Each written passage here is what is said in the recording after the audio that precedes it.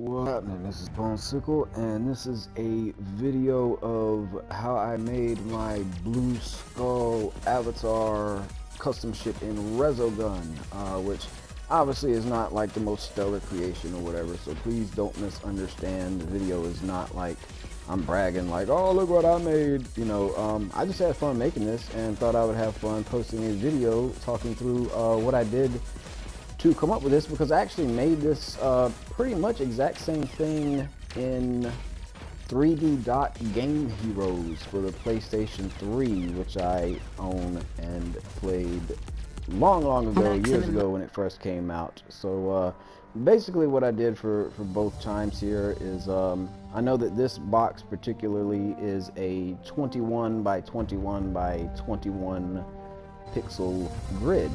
And uh, I got some graph paper and drew three 21 by 21 square boxes and uh, sketched out a skull basically from like face on. I just drew it like I wanted it to look and then I, you know, traced out the um, actual squares that the lines went through basically uh, to get a pixelated version of that and uh, did three boxes because I had one looking like straight on at the face, one looking at the profile, and one looking straight down. So now all I'm doing is just basically recreating uh, box by box the straight on view of the face of the skull right here. And there is a nice feature on here where you could do mirror so you can, uh, whatever you're doing on the right hemisphere of the picture duplicates to the left. And uh, I didn't realize that at first.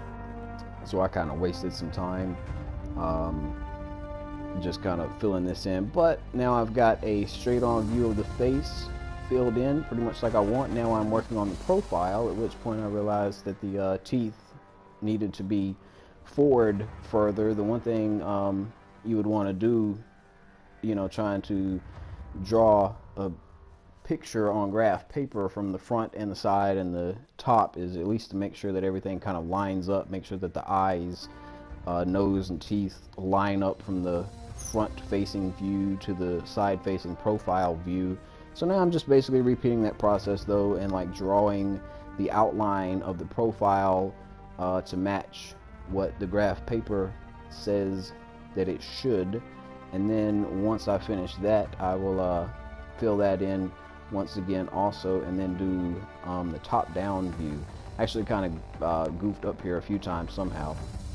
So it, it took a while but uh, like I said for the most part I had fun making this. I like games that give you you know really deep um, customization options like this. A lot of people don't take the time to go through them then some people take like an immense amount of time. You know there are some creations that are um, you know like top voted uh, for the uh,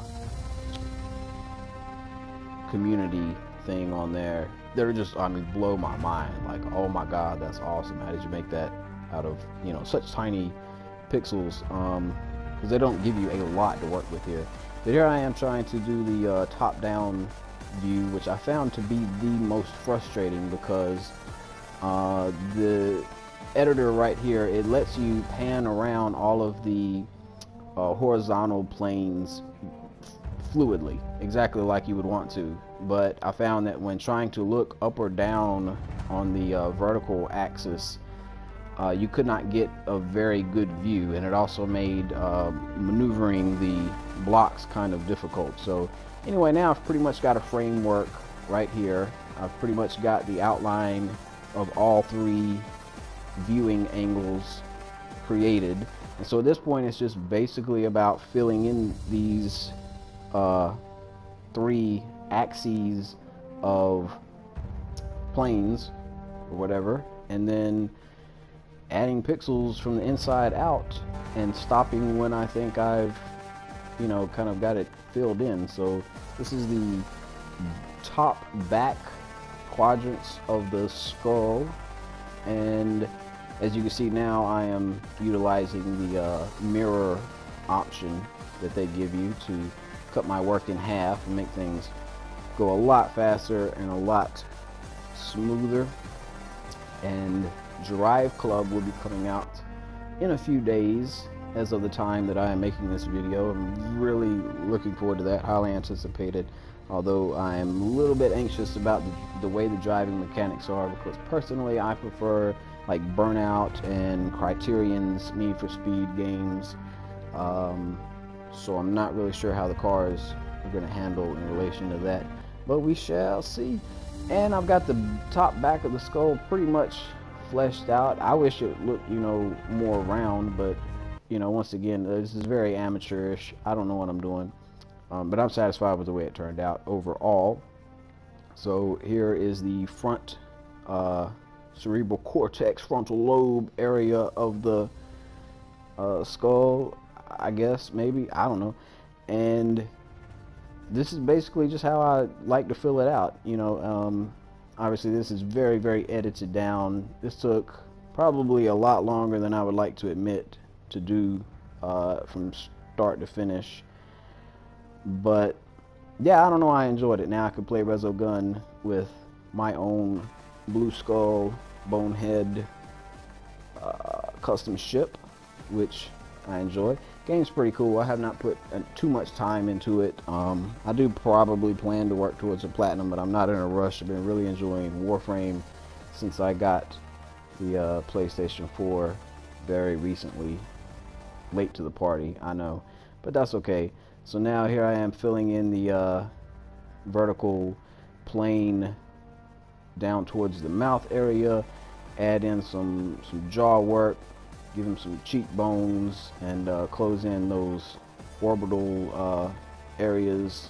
You can see I have some really deep wells for the uh, eyes.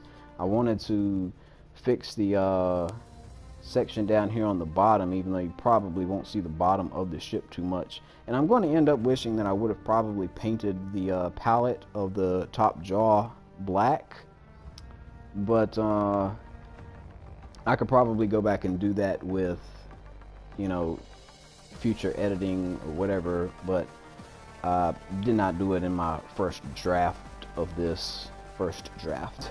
So that's okay but I do paint the uh, nose and eye holes black to give it some depth and I think that looks a lot better. And yeah Warframe is, is, is pretty awesome. And even with the nice backlog of PlayStation Plus games that I've been accumulating over the last year. Still find myself playing just free to play stuff so I'll wait and see if I spend money on the full version of Drive Club after I try the free PlayStation Plus version but I did paint black um, forward from the depths of these eye sockets here and then I decided to uh, add a little red dot kind of glowing eye way back and that's kind of why I made these um, eye holes so deep because I really did want to give a good sense of depth just in case it was ever noticed. And when it came time to edit the uh, stats of the ship, I decided to give it no um, overdrive because there are trophies in the DLC for like beating a level with a ship with no overdrive and then one for using a ship with no boost and one for, for no agility blah blah blah and if you own Resogun that DLC pack is free so you can do all of this I should have gotten a trophy right there for actually um, submitting it. I mean, I did get a trophy, but I don't know, it doesn't record the trophy popping on the PS4 or whatever. But anyway, Armageddon, thanks a lot for watching. Armageddon.